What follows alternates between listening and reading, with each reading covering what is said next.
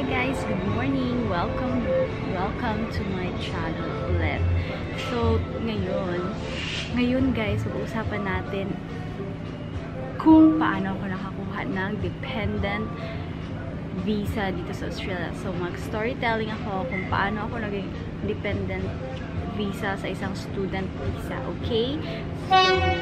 Ngayon, nandito kami sa Sundays Cafe para kumain ng breakfast at para makipag-usap sa inyo. So, magkain na kami guys and I'm gonna get back to you later. Okay?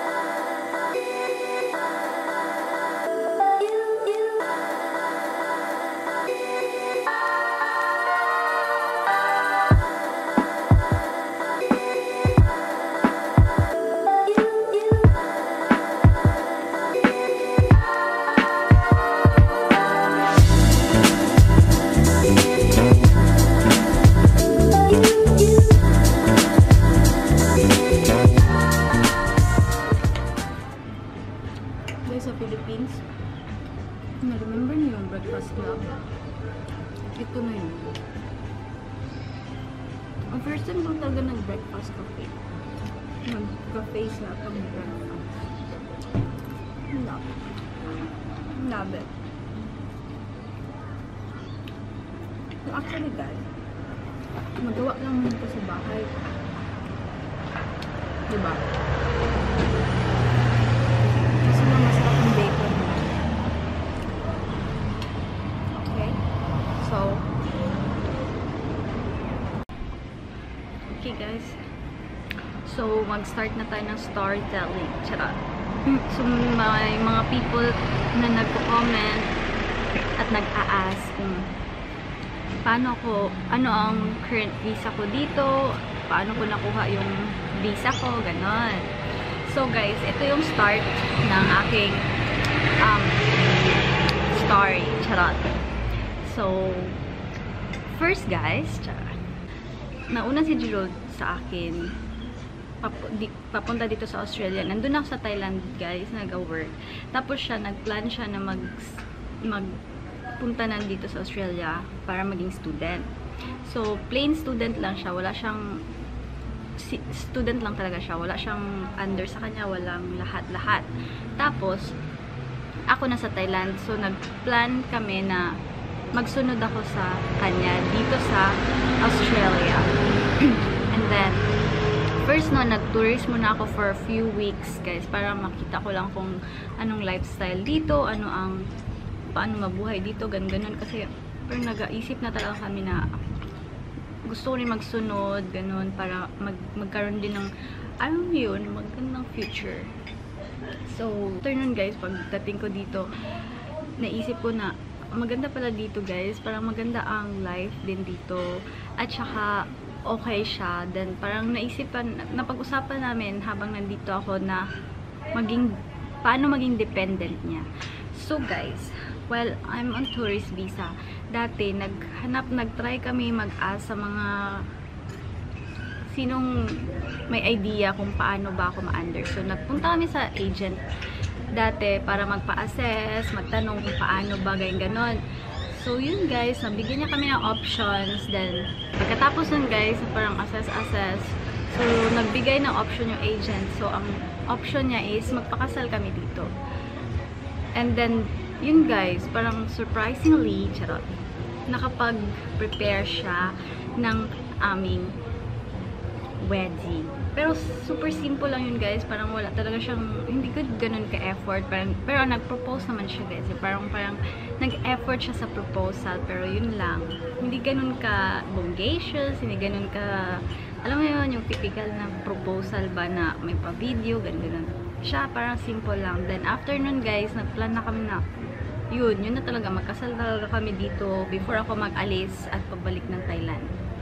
So yun, hanap siya ng mga age, ng mga celeb, naghanap siya ng pang celebrant, naghanap siya ng idea kung paano magpakasal dito. So, ang simple, simple na pwedeng gawin nyo para magpakasal dito agad is hanap kayo ng celebrant na mapagkatiwalaan nyo at saka magbigay sa inyo ng magandang parang kahit min, kahit konting meaning sa marriage. So yun guys, meron kami celebrant na nagkasal sa amin with a little bit na mga thoughts about marriage, ganon, or like mga pang program-program, ganon. So, simple lang talaga guys. Hindi siya nag-last ng one hour to Ganun, parang nag-talking lang si celebrant about ganito, ganito life sa married life, chu-chu-chu, tapos kung gina-accept ko ba siya, or accept niya ba ako, tapos ring.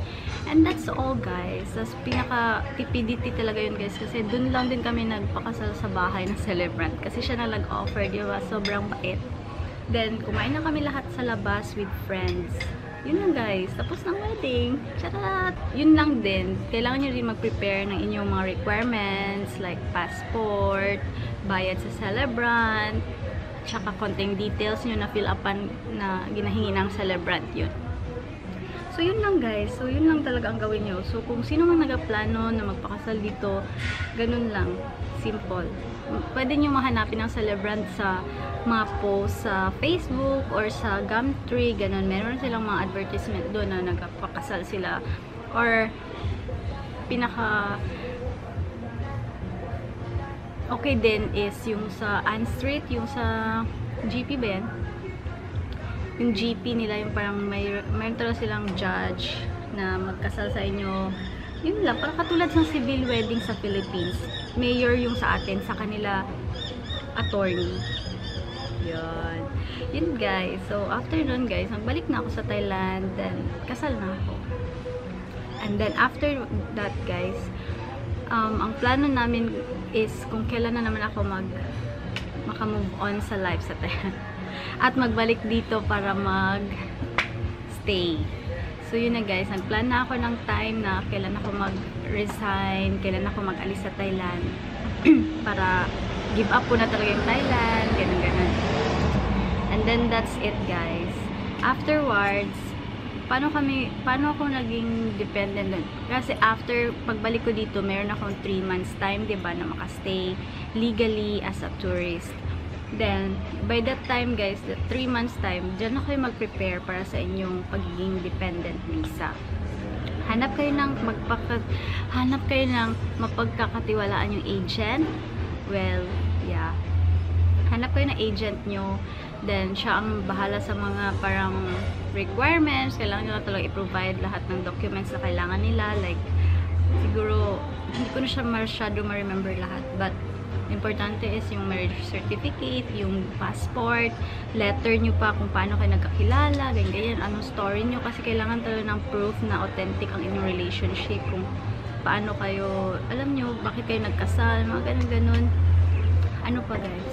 Money, course, importante, kailangan prepared kayo sa money guys. Katulad namin dati, like siguro nagbalik ako, yung purpose ko din na nagbalik din sa Thailand para makapag-ipon para sa, you know, processing dito, ganun ganun. Kasi na, nakita na namin ang breakdown ng babayarin. So, parang nakaisip kami na long, laki nito guys. So, ang saklap pa sa amin, meron pa kami show money that time kasi under student nga siya. So, parang kailangan nyo din ipa-prove sa student na kaya niyang buhayin ng kanyang partner dito. So, parang nadoble ang aming nadoble ang kanyang show money previously. So, ganun guys. Mm, so, yung na-prepare namin na show money before guys is like uh, $45,000. yeah, you heard it right. Tama guys, 45. Kasi parang nadoble siya dun sa student. Kasi isa siyang student ng TAFE. So yung TAFE guys, medyo mamaha mahal siya na college dito. Like parang, hindi siya yung parang college lang na pang ordinary college. Parang siya yung college na government college sa Australia. So, medyo kailangan mo siyang, kasi may one year pa siyang naiwan. So, kailangan yung one year time na visa niya dito as student, kailangan ma anong tawag yan, ma-provide mo yung ka, yung pang tuition, yung tapos doblehin yun. So, kaya ma medyo malaki-laki yung malaki yung aming show money, guys. Yun. Ano pa ba? So, yun, guys.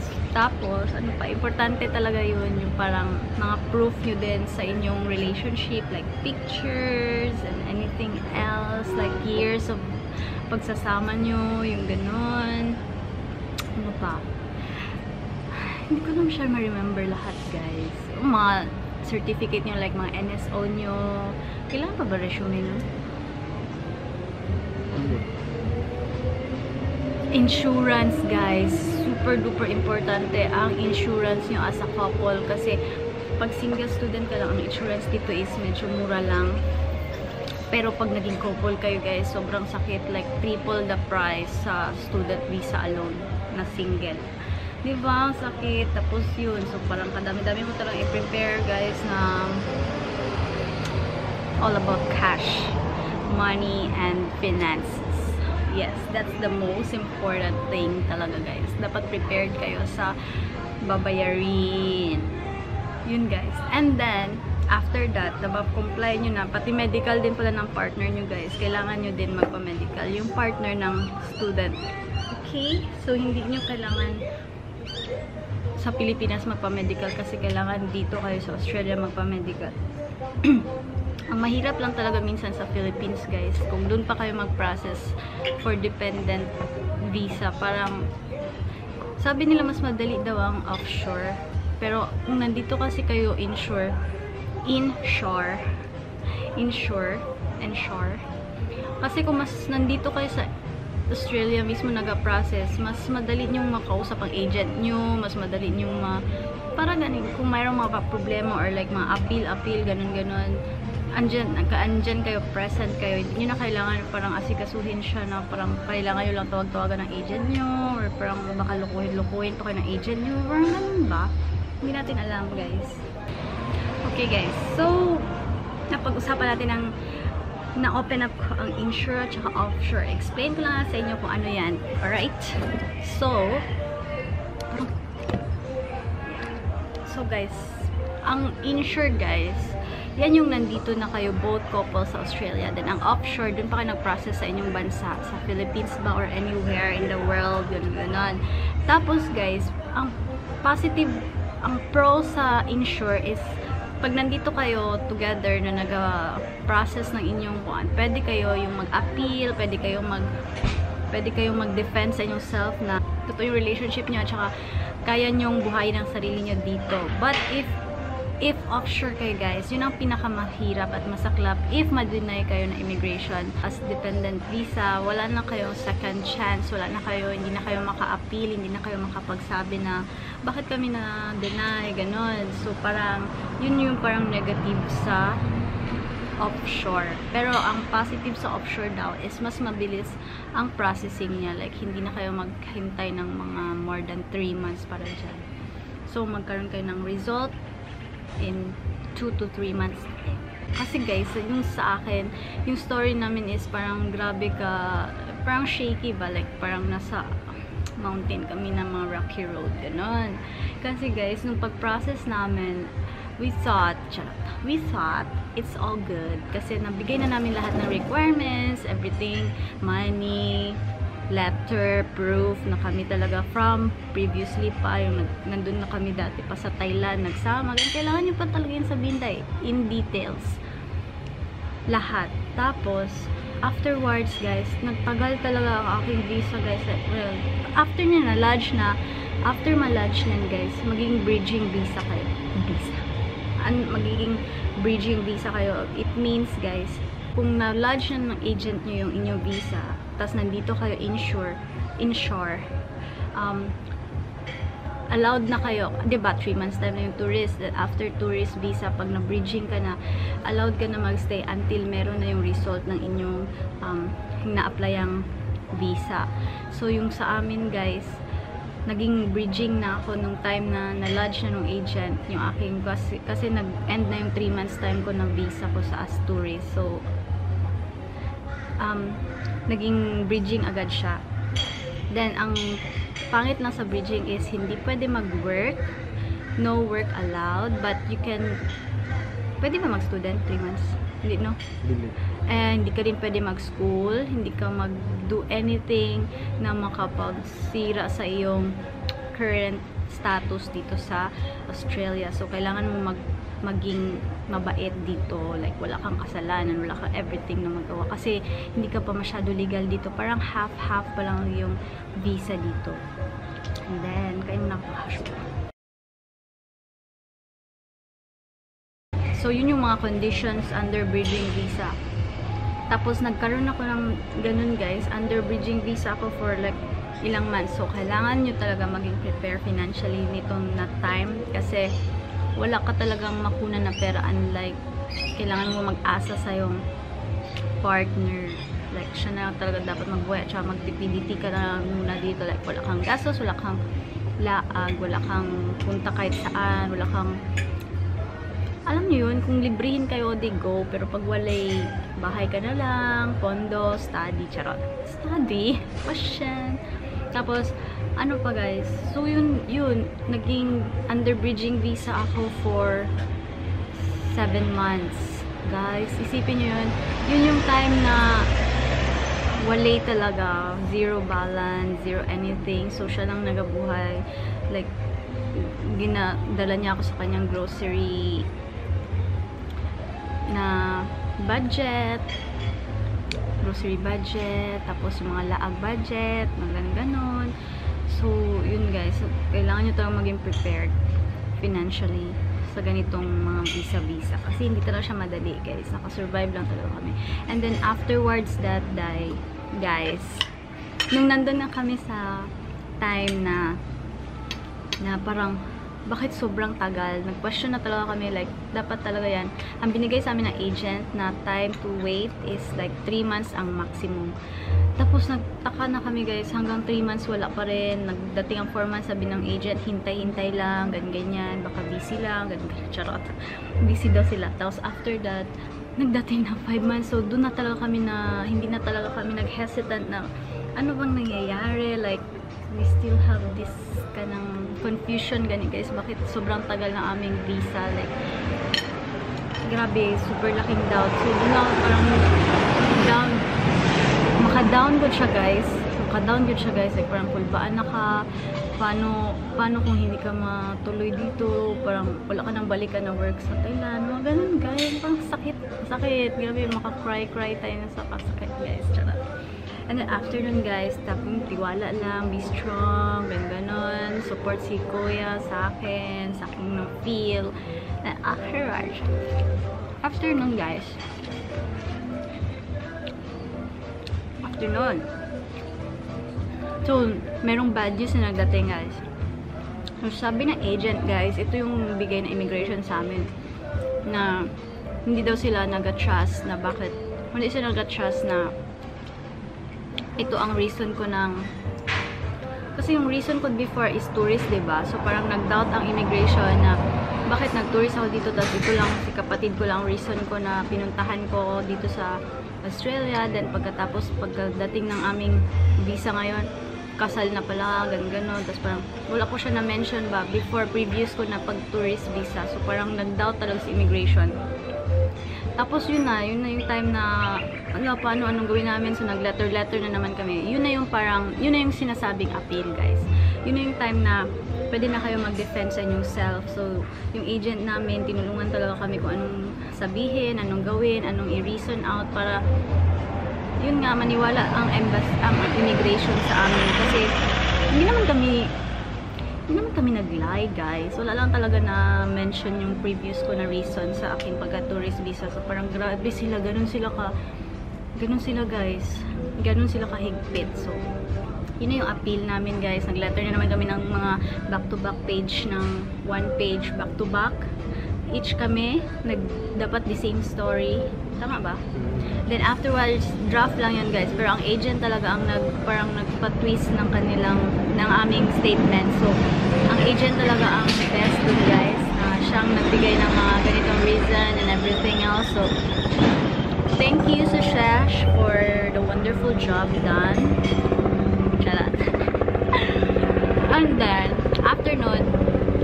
ilang months na naman kami nag-wait guys. So, yun na yung time na after like 1 to 2 months na na, na parang nagbigay ng good news si agent na nag grant na talaga aking dependent visa which is nakaiyak talaga ako. Like parang grabe guys. Nag-iyak talaga ako. Eh. parang sabi ko Lord this is a blessing. It's a big blessing. Kaya oh, wala na akong mabalikan yun. Iyak ba diba emotion ko tayo nagbalik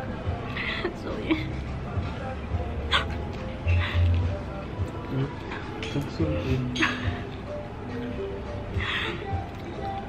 Hmm, tingnan nyo. Balik kasi. Kayo kasi. Um, arte eh. Oo, yun ba. Grabe gid, grabe gid ka. Grabe gid ka po ni Lord nun. Parang, grabe niya ka-powerful nun. Kaya parang, bagsak ka na masyado. Parang, we lift up na. So, yun ang story namin, guys. yun yung story namin. Di ba? Masyado siyang, masyado siyang rocky road. Like, masyado siyang... Pero may iba talaga, guys, na legit kayo. Charot, hindi. Yung may iba talaga na hindi complicated yung mga pagkuan nyo, pag yung reason out nyo sa immigration. Madali lang talaga siya, guys. Like, meron akong kilalang friend na the same situation namin. Pero ang maganda sa kanila, nandito na sila both sa Australia before pa naging student, then nagkasal sila. Then nag-grant sila after 2 to 3 months. So, yun yung kasabayan ko lang guys. Tapos parang kami, ang tagal ng 7 months. Grabe. Diba? Tapos, financially unstable talaga masyado guys. Like, parang masakit. Masakit sa loob na wala ka matulong. Pwede ka man daw magkasyonhan dun guys. Pwede ka mag-work as mga parang illegal na job. Huwag lang nyo yung gawin ha kasi hindi siya maganda. Pero para lang talaga kung makas kailangan nyo talaga ng pang survive survival right. Pang survival dito.